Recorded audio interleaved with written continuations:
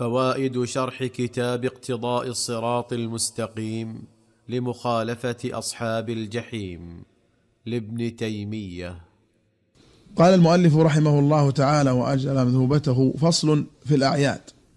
إذا تقرر هذا الأصل في مشابهتهم فنقول موافقتهم في أعيادهم لا تجوز من طريقين.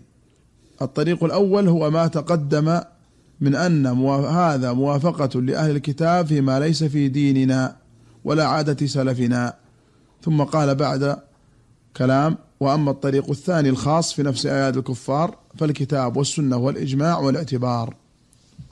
بسم الله الرحمن الرحيم الحمد لله رب العالمين صلى الله وسلم على نبينا محمد وعلى آله وأصحابه أجمعين. تقدم في الحلقة السابقة بيان معنى العيد. نعم.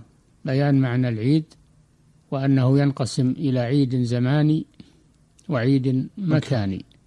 الزماني كالفطر عيد الفطر وعيد الأضحى الأضحى والمكان كالمشاعر المقدسة فإن المسلمين يجتمعون فيها للعبادة ويسافرون إليها للعبادة سنويا وعلى مدار السنة في العمرة والاعتكاف هذا عيد مكاني نعم. وهو مشروع. وهناك عيد مكاني ممنوع وهو ما كان من الأوثان ومحلات تجمعات الكفار لإظهار شركياتهم وكفرياتهم فالمسلمون منهيون عن ذلك. والدليل على ذلك أن رجلا كما يأتي في الحديث نذر أن ينحر إبلا ببوانة اسم موضع فجاء يستفتي النبي صلى الله عليه وسلم فقال هل كان فيها وثن من أوثان أهل الجاهلية يعبد؟ قال لا. قال هل كان فيها عيد من أعيادهم؟ قالوا لا. قال فأوفي بنذرك فإنه لا وفاء لنذر في معصية الله ولا فيما فيما لا يملكه ابن آدم. والحديث سيأتي لكن الغرض من سياقه الآن بيان النوع الثاني من الأعياد وهو العيد المكاني المكان. والعيد كما سبق اسم لما يتكرر ويعود بعود السنة أو عود الشهر أو غير ذلك. فالعيد في الجملة مشروع للأمم مشروع للأمم وهو العيد الذي يكون للعبادة العيد الزماني الذي يكون للعبادة. للعبادة. ولكل أمة جعلنا منسكا ليذكروا اسم الله على ما رزقهم من بهيمة الأنعام. لكل أمة جعلنا منسكا هم ناسكوه.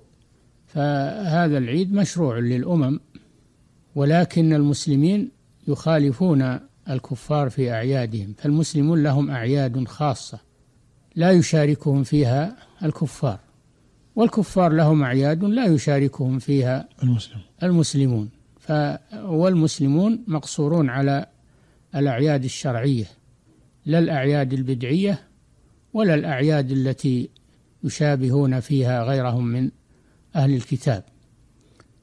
ولهذا لما قدم النبي صلى الله عليه وسلم المدينة مهاجرا وكان لهم يومان يلعبون فيهما في الجاهلية فإنه صلى الله عليه وسلم لم يتركهم على الاستمرار على هذين العيدين من أعياد الجاهلية. بل إنه شرع لهم عيدين إسلاميين وصار بديلين عن أعياد الجاهلية. ولا يجمع بين البدل والمبدل. فهذا يدل على أن المسلمين يستقلون بأعيادهم التي شرعها الله لهم. العيد عبادة ولا يجوز أن يحدث عيد آه، ليس له دليل من الشرع لأنه عبادة لأن العيد عبادة. فلا يجوز أن يحدث شيء إلا بدليل ولا يجعل عيد إلا بدليل لا عيد المولد ولا غيره. نعم. إلا بدليل شرعي.